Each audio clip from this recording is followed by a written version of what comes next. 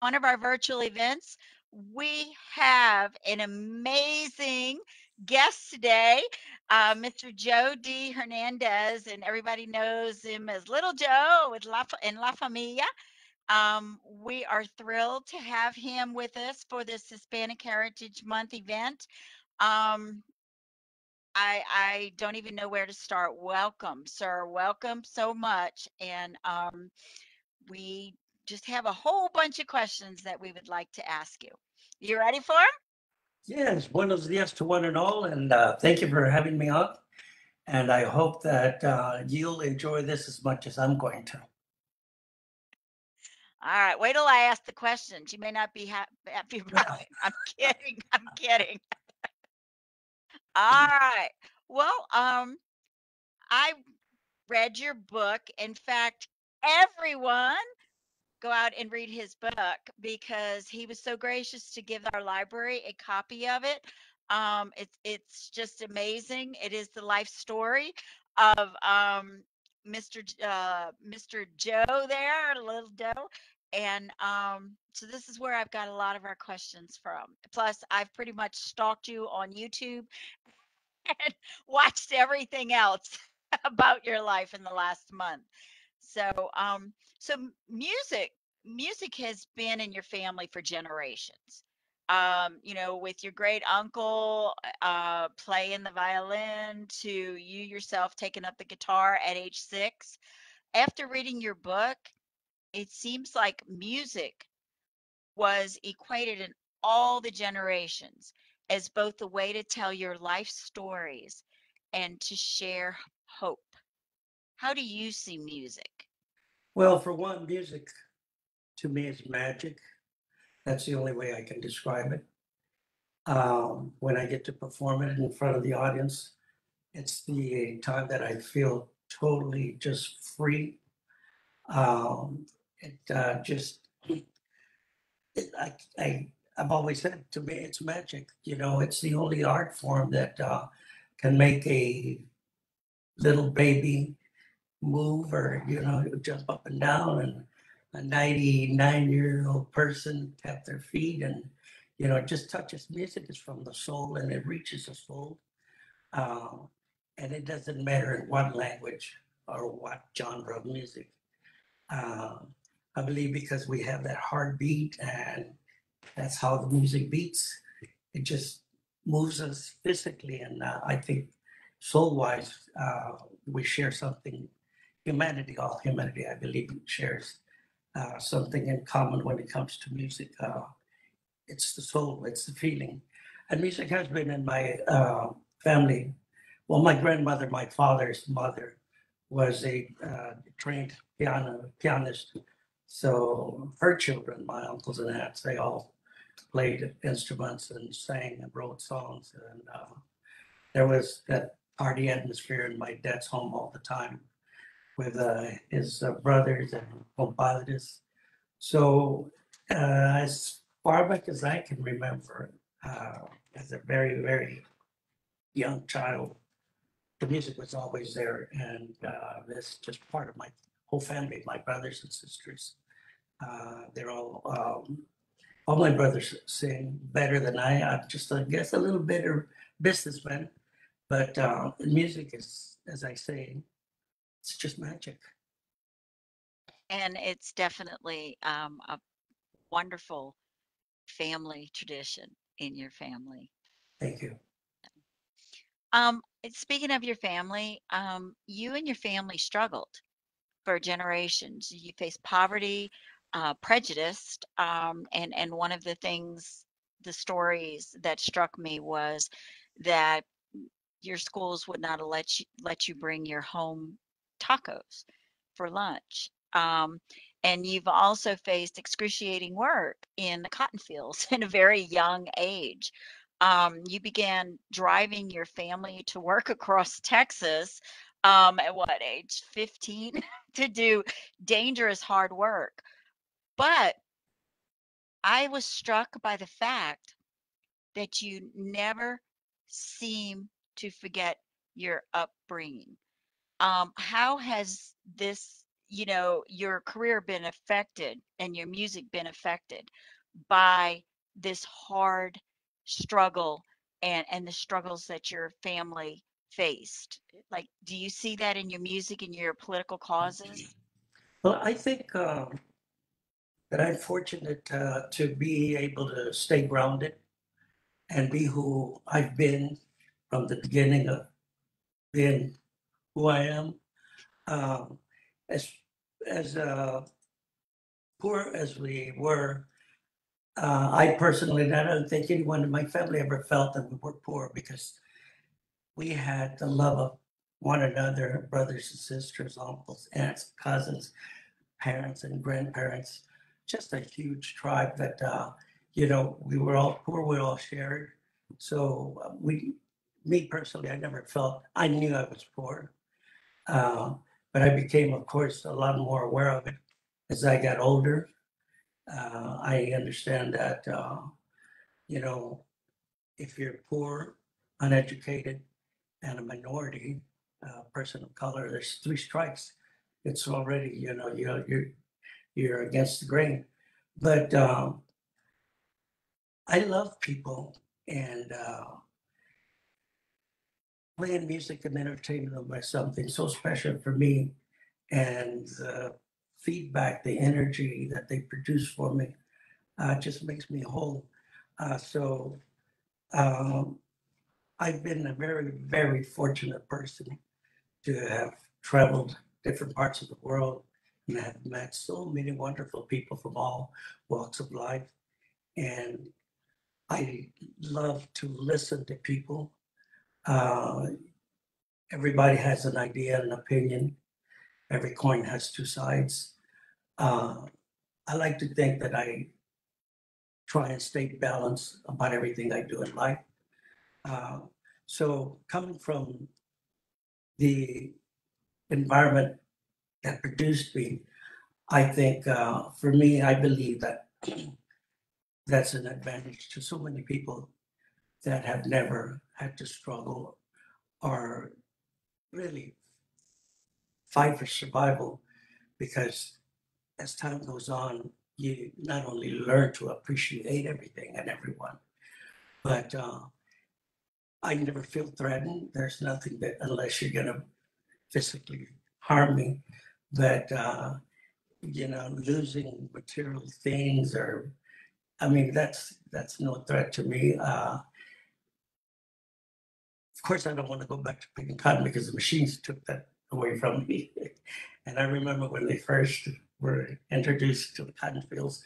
But um, again, uh, I'm just a cotton picker that uh, do music on the side, and uh, I recognize, understand, and, and, and connect with millions of people that come from the uh, the environment that I come from, and breaks my heart that so many are still there. Specifically, the farm workers, whom uh, I've dedicated as much time and effort to make it better for them as I can. And I'm still on call at any time they need anything that I can assist with. I'm there. Well, I, I'm going to skip over then when you when you talked about you know the the rights, the human activist rights, and I'm going to go back to your music. I promise you, I'm going to ask you a question about your music. No problem. Um, but with um, with helping the farm workers and victims of police injustice, you you became friends with Cesar Chavez and met met with presidents. You you wrote history in in terms of fighting for people who may not be able to defend themselves. Um, you've also served as as a mentor and a speaker to encourage education. Um, there's something that you wrote, uh, a line you wrote in the book that said, "Education is the great equalizer that we need." Do you believe that education and music is a great equalizer for everyone, no matter where you came from or your struggles. I truly do believe that. Um, education is being informed.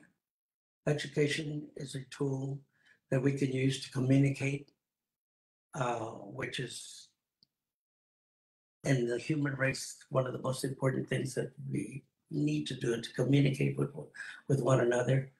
Um, I'm not a great speaker per se. I talk a lot, sometimes don't say a whole lot, but uh, I truly understand the need of a good education because I don't have one. I dropped out of the seventh grade, and uh, I know uh, how really difficult life can be without an education. As I said, the means to communicate with one another that's so important. And uh, I know in my younger days, I passed up on some opportunities because I just didn't have the vocabulary to communicate with, and I was embarrassed to, um, and sometimes do some uh, TV shows that I was invited to. I, I was intimidated. And to begin with, I, I was just a very timid kid, uh, uh, real shy. So one of the biggest obstacles I had to overcome was that shyness, which I still am. I talk a lot because I'm shy, but uh, getting in front of audience uh, was really hard to do. But I knew that when I started and when my dad was in prison and I could make uh, little money performing, uh, that was more difficult than uh, meeting uh, my uh, shyness and overcoming it. You know, um, the human spirit can overcome so many obstacles. And sometimes we don't know or understand that. Because when, when we have we have the opportunity to do so, we don't uh, for whatever excuses we make. But uh, for me, I didn't have the excuses weren't going to work. I had to do what I had to do, and uh, it just I really truly believe that if you meet all obstacles head on, you it's like swinging at the ball. You, you know, you're not always going to hit it every time, but how great when you do hit it, you know, and if you hit it so well, it makes up for all the times you missed it.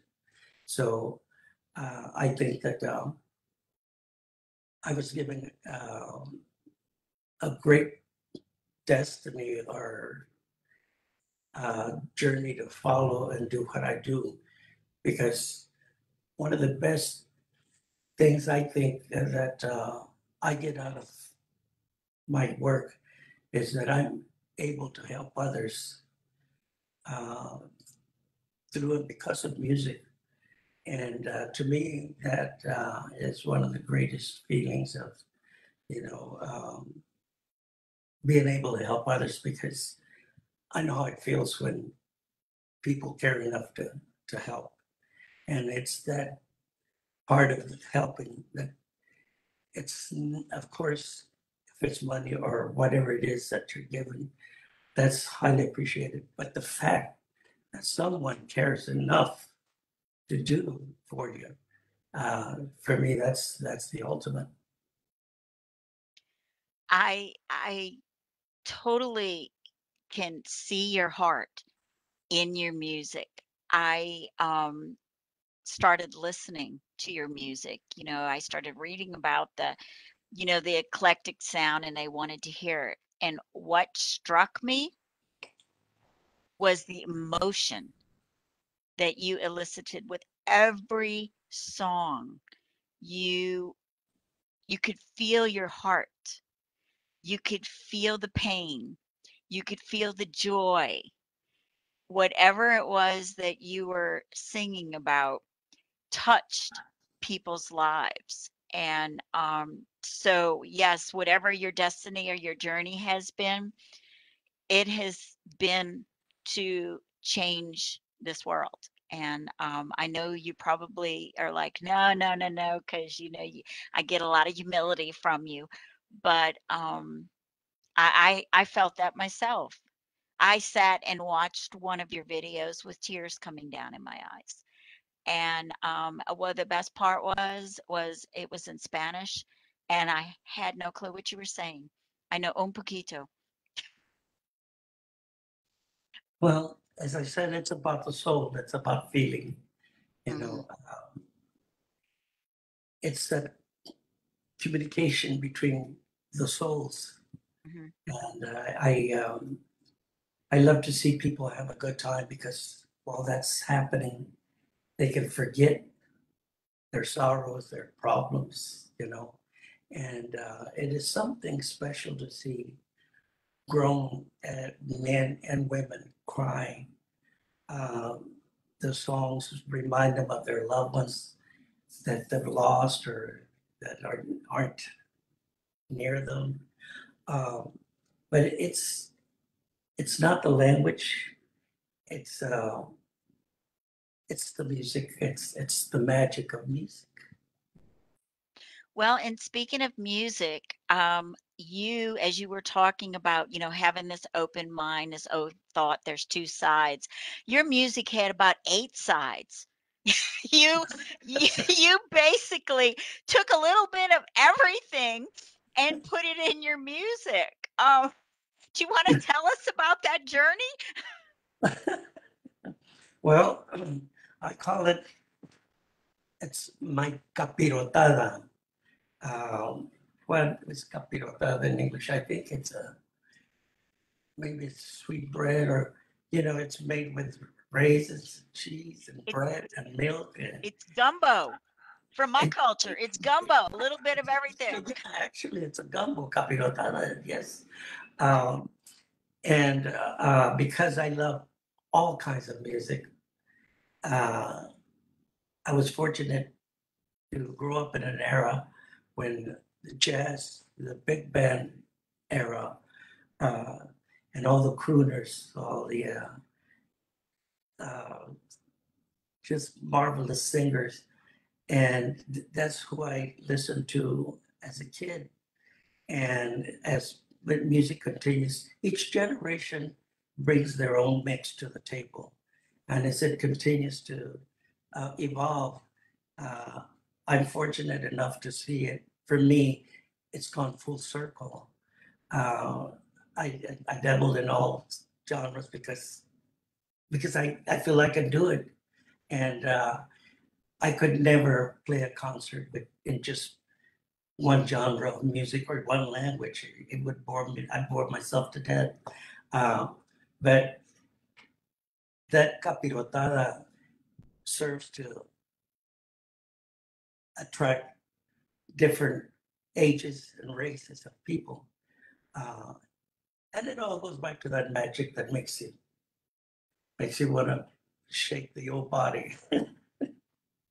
but it's that's my that's my toss-up salad. It's a mixture uh, of uh, different uh, ingredients, different uh, styles and genres of music. It uh, it's worked for me, and I started that way as a kid, and uh, I continue to perform that way. Uh, and I guess as long as it continues to draw an audience and who's willing to sit there. I mean, what's so amazing is like I go to the, perform the shows and I see people stand in line to get into the concerts for hours. I would never do that for me to go watch me. Oh God. Uh, but they, they and you know they're they're all talking and meeting and, and you know just big conversation going on you know and the doors open and they rush in and they still that excitement before the show.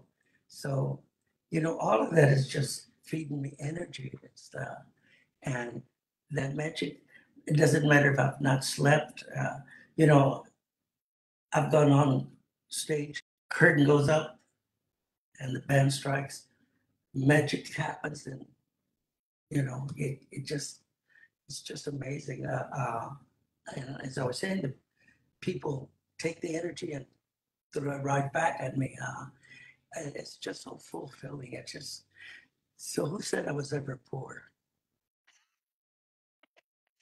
I can't imagine you would ever be bored. And I totally agree because I'm a people watcher. And so when I was watching your YouTube videos, I looked at the audience and everyone had this big, amazing smile. And you were on the stage with your hat and you were just I can see you were whipping them up and they were whipping you up and it was just one big if you know amazing ex- shared experience. So you definitely have a gift and you're extremely humble about that gift. but others see it. Others see it. Yes. Well, the biggest gift I think is being able to fake it. I'm not all that I'm made out to be musically. I have terrible meter. The timing is terrible. But I was told as a kid, just fake it till you make it. And you watch me, I'm gonna make it one of these days. You have definitely made it. Let, me ask you a question, and I hope this is okay to ask. Um, Anything. oh, okay. Um, you you pretty much made a promise to your late brother Jesse that you would follow your heart into the music field. Um, do do you ever look back and think what your life would have been like had you not, you know, made that promise to your brother? Good question. I don't think I've ever stopped long enough to consider that, give it a thought. Uh, now you got me wondering. what would it have been like? What would have I done? Uh, I, I really don't have an answer that uh, I can give you uh, because I'm not one much to look back at the past because I'm so busy and excited about something new happening day after day after year after year. But that promise I made to my brother, uh, I carried that promise with me till the day uh, when I won my first Grammy. And one of my older brothers, my mentor, Orfidio, uh, told me, well, you know, uh, you made Jesse a promise and uh, you fulfilled it.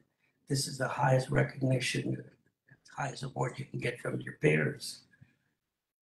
And I gave it consideration and thought about it, and I, I, I thought, I, I kind of felt like a burden had been lifted. I, I, I really did keep my promise. But in one one show, we played uh, the Majestic Theater in San Antonio, along with the symphony, the whole orchestra, about 80 piece orchestra, my band, and a mariachi group of like 12 people, and dancers. There were 122 people on stage. It's just amazing.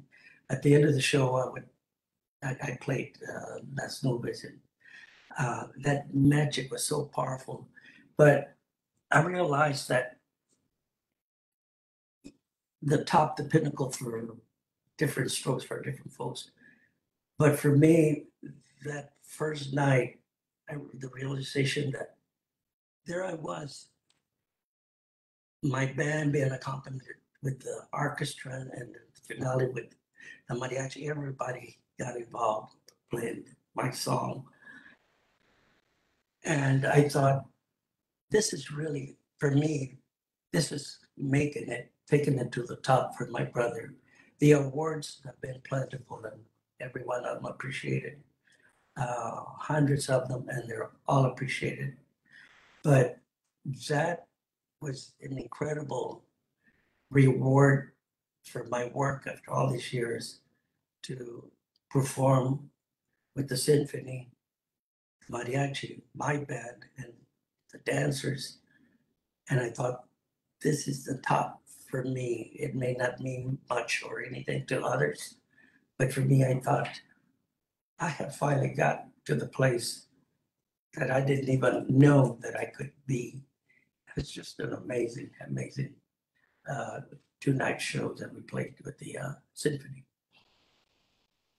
Well, I, you you are definitely amazing. I I um I couldn't put your book down because seeing the determination, the hope, the love, the believing in miracles that you exhibited uh, which uh, you keep saying magic yes you you believe in miracles and it shows that you believe in this. Um, let me ask you a question. Um, there are a lot of people in the world that have situations. Um, I myself came from a, um, you know, homeless years and years and years. And um, sometimes it's really, really easy. The easy route is to just say, well, the world's out to get me. I don't have any hope. Um, I, I, I can't do it.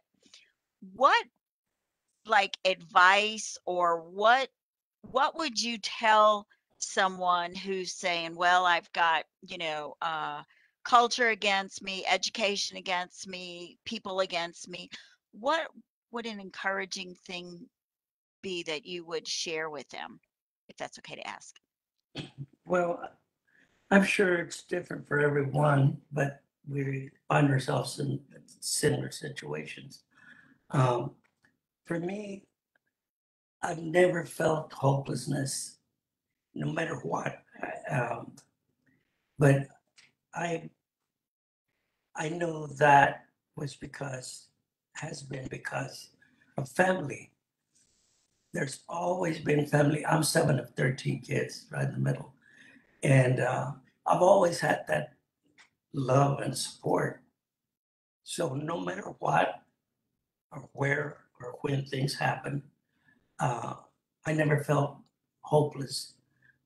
Uh, there was always ganas, which wanting to to do to achieve, because my biggest, uh, I guess, uh, concern was to look after the family.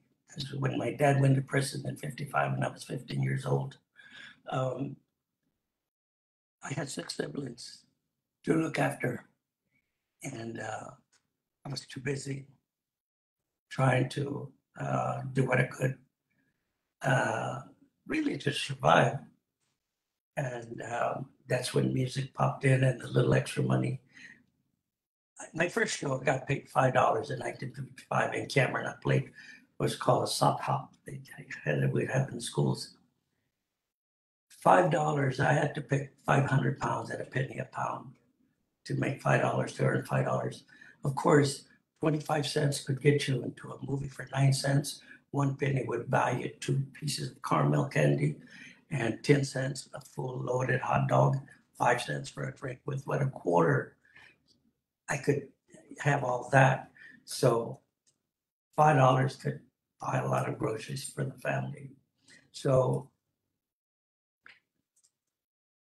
I never felt uh, hopelessness, as I was saying, because there is always hope. Mañana, mañana. Uh, uh, my dad always said, "Mañana Dios dirá." Tomorrow God will say. And uh, my mom was very faith. Uh, she had great faith, and she believed. She was, I uh, my dad was my hero and all, but it was really my mother who really kept the whole thing together. She was really the, the unspoken hero. Uh, she loved every one of us unconditionally and equally. So that was my case. In other cases, some people, so many unfortunately, don't have that. They don't have family. Uh, what advice I would give them? I would say make a family. I don't mean go out and get married and make a family, but there are friends around that are wanting to help. Allow them to help you. You know, let let them. They want you to cry on their shoulder. Take advantage of that opportunity. Be close to people, and uh, there's always someone that cares. You don't have to feel alone. You don't have to be alone. You know, uh, and if you find yourself in a desperate situation, get out in a crowd. Do not isolate yourself. Uh, be around people and look at other people's problems. You know, they will say, and I don't have any shoes. Look over there, the guy doesn't have any legs. You know, that's that's the true case. Uh, but I understand also mental health. Um, I have many friends, many veterans, especially from Vietnam era, um, uh, that um, have suffered or their families uh, have suffered greatly because of, of mental problems. But it's just not veterans alone. I mean, children, the elderly. And the worst thing that we can do for any person, any human being, is to isolate them, to leave them alone. We got to communicate with them, you know, even at times when they don't want that communication. But I think that's great medicine.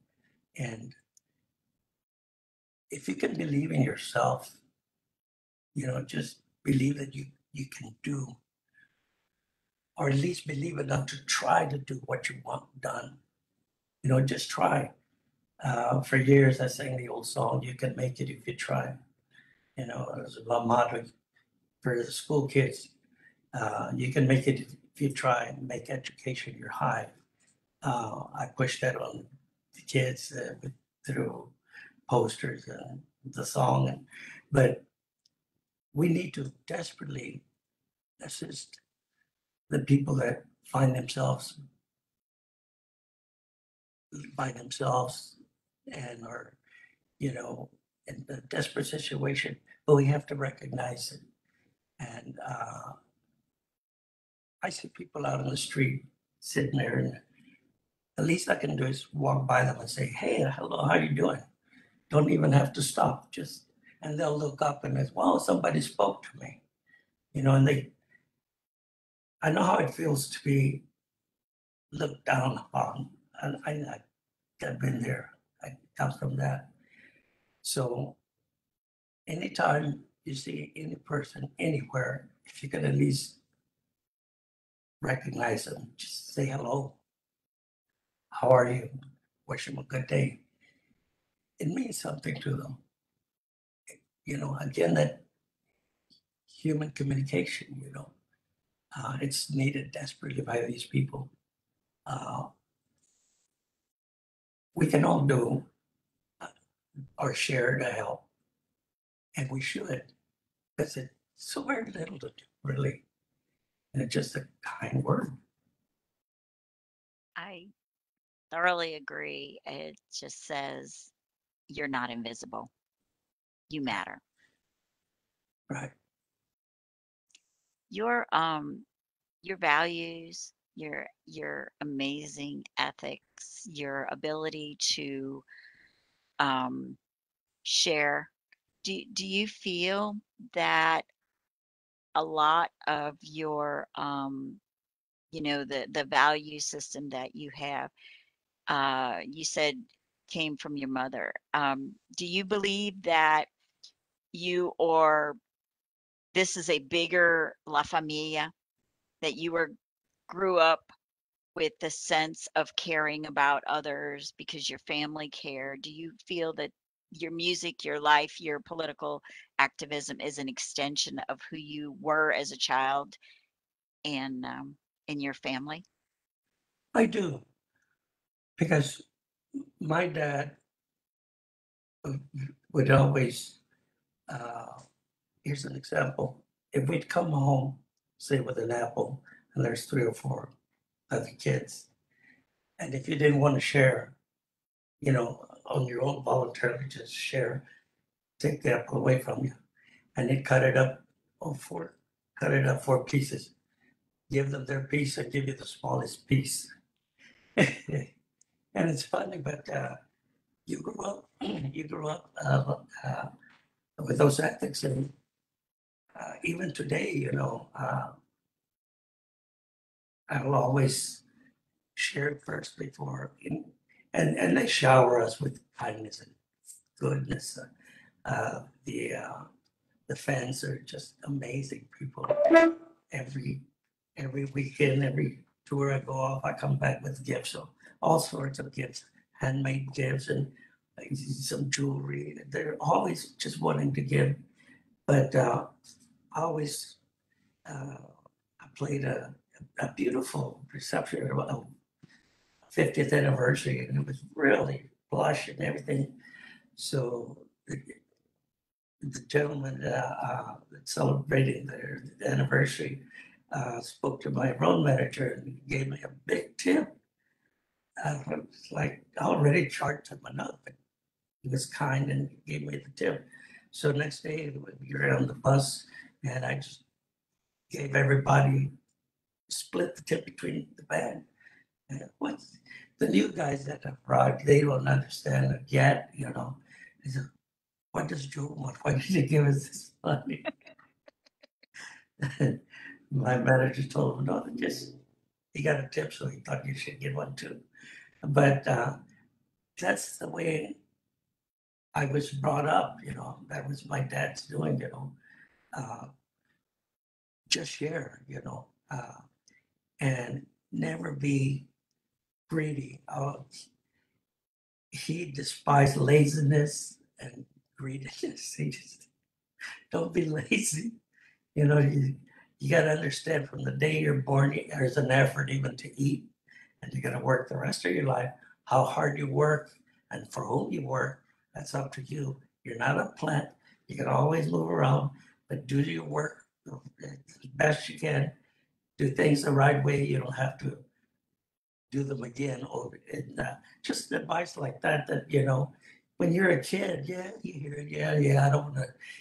Give us our chores and uh, and he said, do it right because if you don't, you got to come back and do it again. And in Spanish, he would say, "El pendejo trabaja doble." The idiot works twice. so you know I'm an 81 year old man now, but I still go by those uh, rules or you know because they work. They definitely work. I have to ask you, what was your absolute favorite show or thing that you've ever done? Gosh. Done. I can't tell you that. My favorite Legally. favorite thing I've done. Uh, my favorite show, uh, the last show I played, uh, and I could almost say that it was just an incredible show. I had my brothers with me, but uh, uh, my first show in Japan was uh, really amazing to me because I had wrote, I I had read the book Shogun. I was in New York with my uh, my, one of my attorneys, my music attorney, uh, and uh, it was my birthday, and we went to the Lone Star Cafe, and Johnny Rodriguez was performing there, and I met with him after the show, and we, and then on we're in Manhattan, we're walking back to to the hotel, and um, my attorney Mike Pellison, who's in the book, says, "Joe, uh, I want to give you a gift uh, for your birthday." I said, "Fine." So, because we're walking down, and the store was open, the bookstore. So they went and bought me Shogun, the book. Uh, that may have been 79, I don't remember. But 610 pages, I said, I'm not a great reader. I said, "Mm, okay, thank you, Mike. Uh, I'm not going to read this book. But we had dinner and I went to the hotel room and I opened the book and started reading. I was so fascinated by it, the Japanese culture and just the story and that. It was so amazing to me. Uh, and uh, next day I had to fly from New York to Seattle and the promoter was going to pick me up. Uh, and we were going to meet with, uh, forget whom, but we are going to have a quick lunch. It's a six hour flight, so it was going to be a late lunch. I left early. Um, but I read the book all the way, all those six hours. And when I got there, I'm such a liar. I, I told him, I, I have such a bad stomach ache. I'll pass up on the lunch. I wanted to get back to the book. And I just loved the, the book.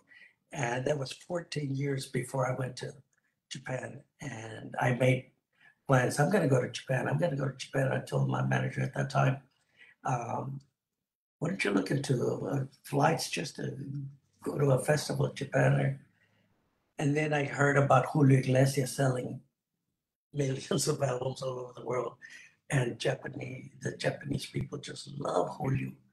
And I thought, wow, I want to go play Japan. And it took me 14 years to get to Japan to perform. And I played what was like their uh, World's Fair in Kumamoto, Japan. And it was my first show. We played three or four nights, I forget, two shows a night. And I was so, I, it was just, I have to say that was my best, uh, maybe not my best performance, but one of the show, the show that I really, really remember and appreciate. And um, Kumamoto, Japan, my first show, and uh, it was so amazing. But I guess this is a, a- an example of you can make it if you try. I just, you know, I, I knew I wanted to go to Japan. I knew I wanted to, you know, meet Japanese people and, and eat their food and, and enjoy their culture. And uh, it took 14 years, but I got there and it was so amazing. I, I made probably another three, four trips to Japan. I got to tour all over Japan and it's just so amazing. And, and today I still, you know, um, think about, at one point I even thought, you know what? At one point, uh, I'm not gonna be able to do this any longer. I'm gonna move to Japan. I, I want to live here. It's only a fourteen hour flight. Uh, but I, I, I just love the country and the people so much that, uh, I, you know, I was just so amazed that enriched my life that I learned many things about the Japanese culture that um, helped me uh, with myself and their beliefs, how they think and treat each other. Um, one tourist, we stayed like 19, 20 days, and I just get so calm, you know, and uh, just everybody's so nice to one another. Then I get back to the States. We were in Los Angeles. And the minute you open the door of the plane, ah, ah, ah, and the cursing and shouting and oh, so God. Good old American culture. But but I am just like I keep repeating, I, I'm very, very like a very fortunate person. I'm, I'm and I just wish I could share all my good fortune with everyone. Well, you do. You do in your music. In fact, I'm now going to have to look to see if there's some Japanese music mixed into your your list now. Amazing. Not throw added that in. just quickly, two kids, you you'll find it in YouTube. Two kids, one playing the guitar and the other one singing. My song Las Nubes in English and Spanish, and they do that. The Japanese, uh, they can copy any anything. They, they got mariachi, they got the accordion conjunto, and they've got these two kids. It was on YouTube, and uh, I just blew my mind. They're they're singing Las Nubes, and because I do it in Spanish and English. And this kid's doing that. A Japanese kid is like, whoa, just amazing culture. So you've pretty much touched the entire world. Can you Well, does that blow your mind that you know you you started off picking cotton and now you've got the whole world here? well, uh, let me see. I picked enough cotton to make enough clothes to be sold around the world. Yeah, yeah. I got a I think you have. I got a couple of stitches here and there around the world. Oh my goodness. Oh my goodness. Well, you are are uh, you are a gift. Um, you are a gift. I know, you know, y- uh, you're humble at the same time and don't see the gift as much. I'm so glad that you were able to take in at that Grammy Awards that this this is something that you know you did and you did it um because you never did give up and um That's a still- lot. I still feel responsible for the family, you know, not just my siblings, but my children, my grandchildren, and my eight great grandchildren. I was going to ask you how many you have. We have your granddaughter helping us today. Oh yeah, she's a jewel. She's uh, she handles all the media for me. As I said, and I wasn't kidding. I'm not kidding. I don't know how to turn on the, this contraption here. I I barely handle the phone and not well, but uh, you know, I I just decided that I didn't want to learn to deal with it. And I that I'm not on Facebook for say myself or you know, uh, it took a long time before I started texting because I love people, but some people just want to text their whole life, and uh, that's a little too many-. Too many fingers. Yeah, and then I can't spell to begin with. So I'm glad that now you can do it vocally, you know. But and I I'm a one finger texter. It's like one uh where's the letter D? Uh oh yeah. D for damn uh, dog. Well, you told you told me that you have a show tonight. So your your schedule is just as busy as it's always been. Is that right? No, uh the show if we're talking about Temple, that's uh that's October sixteenth, uh the day before my birthday. And um my son's my booking nature, so he's really taking advantage of me. Um I worked five weeks nonstop. I said, I'll take a day off tomorrow, but we were touring. And uh, it happened that I was in California. I'd leave the bus there, fly home, go to the studio. I was, uh, I actually worked, I think, much better under pressure. I needed to finish the album with my brothers. Um, and uh, uh, it was a last minute thing that I took on because I wanted to finish in time to uh, submit to the Grammys.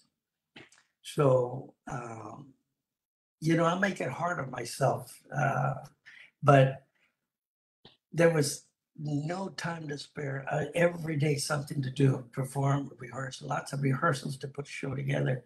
Uh, after f- finishing the album, which you know, I, I think I think it turned out really great because of my brothers. But I thought, okay, done. So we just got back from Arizona, and uh, yesterday, you know, you come in and take the last minute things after the tour. Uh, and I was looking forward to this today. I said, this is going to be relaxing for me. I'm not going to have to talk to anybody else. I thought, uh, but then tomorrow, uh, what's today is Tuesday. Yes. Uh, Wednesday, we go get tested, uh, rapid test uh, for the virus, for COVID. Then Thursday, I play the fair in Dallas. Thursday night, I drive drive past Temple, go to Austin, catch a flight to Long Beach. They'll pick us up and take us to the ship and get settled in. And I'm- playing the cruise there, which I I'm happy that I can do this because of the band members and my staff here. They get to go, and but myself, it's just one long interview. The minute I step out of my cabin, uh, it's like, hey Joe. By the way, do you remember 1965 when I was sitting there, in- the second row at the Majestic Theater? Like, oh. Uh, so I love people, but I like breathing too. You know, just a little breathing time. But Down. I, I, know it'll, uh, it, it's always fun. So we'll be on the cruise and as soon as we get back, we got a day in between to settle in. Then I go play the Chicano Festival in Houston on a Thursday, which is the forty-second, and I was there from the first and, uh, uh, that, the first concert, uh, Chicano Festival. And I've only been absent I think once when I was out of the country. Other than that, I've, I've been performing at this festival year after year after year. And it's amazing to see children, you know, 40 years ago, Uh, and now they're, these are great grandparents like I am and parents, and they still bring their children. It's at the Miller Park Theater. So I'll do that. Then I'll drive off to San Antonio to do a special performance for uh, a clinic uh, that's just starting up, a medical clinic, and finish that and bus on to Pueblo, Colorado. Well, Uh, I'm already tired, but I'm oh no, fun. no, no, no. It's obvious that you are still making magic and you plan on making magic for a very, very long time. You know, I didn't. I didn't mean to give you all my troubles of my. no, no, no. It's just the opposite. know. I think people should know that, uh, you know, Showtime, and they don't know where I've been, what I've done, how I'm feeling, what I've gone through. And it doesn't matter. They don't need to know. All they need to know that they want their money's worth, they're here to have fun. And that's all I want to do. Just give them their money's worth and have fun. I, I cannot imagine you sitting on a porch watching birds. You can't save the world doing that. And you have a special gift that requires you to do other things. And you do it so well. Gracias. Oh, well, uh, When, when you're on the ship, just find a little cubbyhole space, wear a really big hat with sunglasses, and watch the birds off in the distance. they, people walk by saying, hey, Lucho, I like your disguise. Wear a wig. Wear a wig. If they can't see me, they can smell me. Uh, oh, I've been on the road too long. Oh my goodness. Oh my goodness.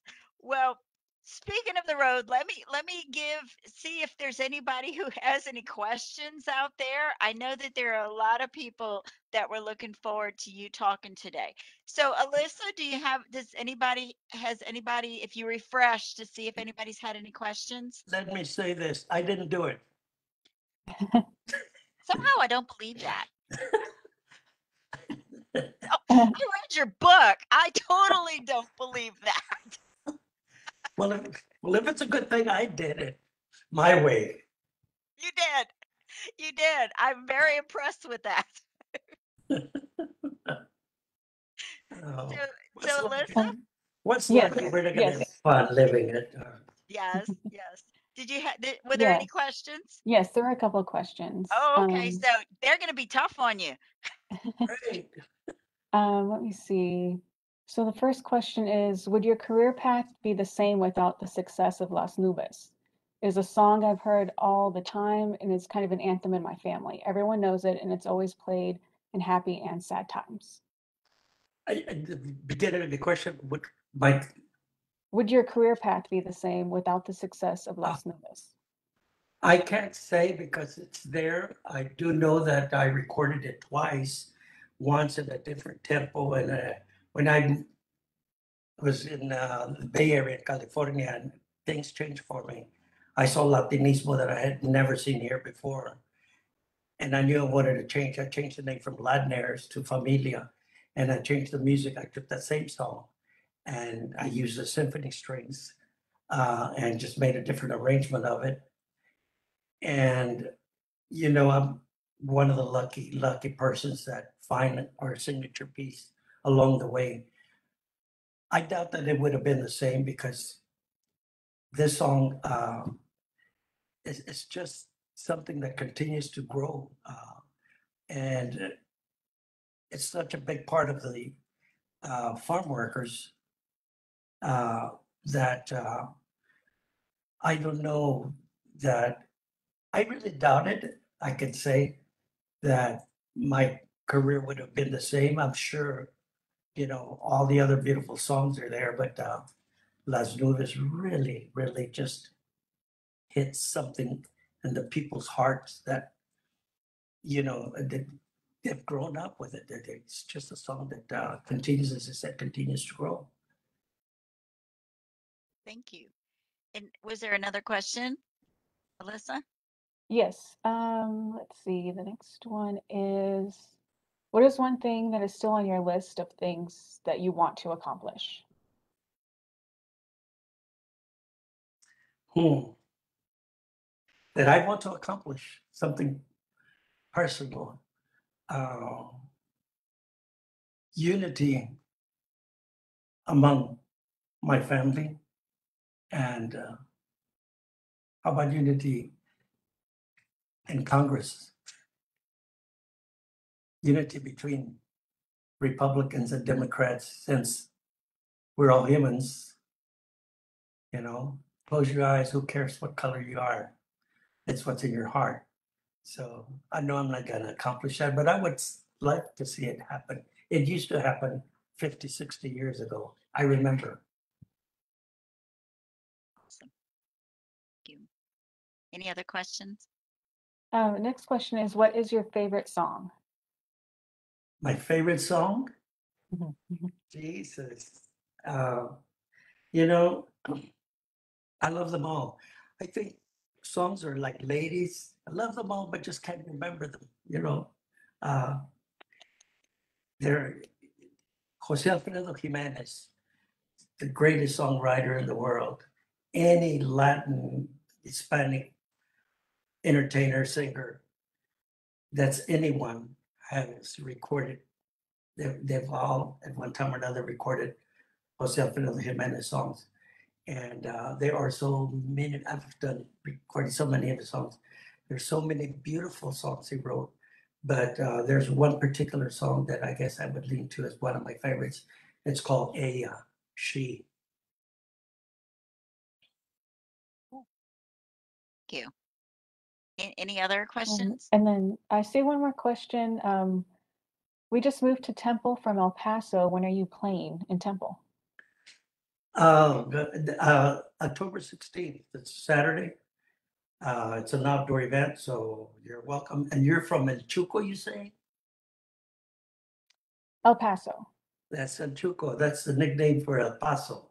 Mhm. I, that was, that has been like home away from home for me for years and decades and decades. I uh, have so many wonderful friends there, uh, retired politicians and educators and um, just all kinds of uh, uh, judges and just so many friends and beautiful people that uh, uh, El Paso, as I say, it's, it's home away from home. I, I love. And the nickname for El Paso is El Chuco. And uh, we're playing their 100th uh, anniversary for Bowie High School. But that's not till next year. So hope you can- return to El Paso for that event. Cool. Cool. So any more questions, Alyssa? Um, when is your new album coming? Pardon? When is your new album coming? Um, we've just set it off uh, to get uh, all the. There's a lot of work in putting the album together, uh, the cover and all the uh, information, a list of authors and just credits and goes on and on and on. And then, of course, the manufacturing that sometimes take a couple of weeks. So I think we've done pretty much all of that, and I think the release date will be the end of the month, the thirtieth, Cool. Very cool. which is not all that far off, is it? Mm. Uh, wow. No, that's like four days, three days. Oh, two wow. days. It'll be in the digital stores, uh, so I don't know where it'll be in the uh, regular, if there's any record stores left. And things have changed so much in the uh, in the recording industry. You know, it's like uh, I was so amazed that cars don't have CD players anymore. It's like, oh, and I'm looking for a, a cassette player. I said, "They- Joe, what's a cassette? I'm updated. No, no, no. no. Any other questions, Alyssa? No, I think that's it. Um, just a lot of comments saying that they love you and you're such a legend and that they've been listening to you since they were kids. Lots of love. How nice. I really appreciate those comments. Muchas gracias. Well, and and we appreciate you taking the time from your busy, busy schedule to um, come talk to us. Yes, you are extremely as down to earth as when I called over there and went, "Hey, you want to come talk to our college?" You're like, "Sure." Look at it this way.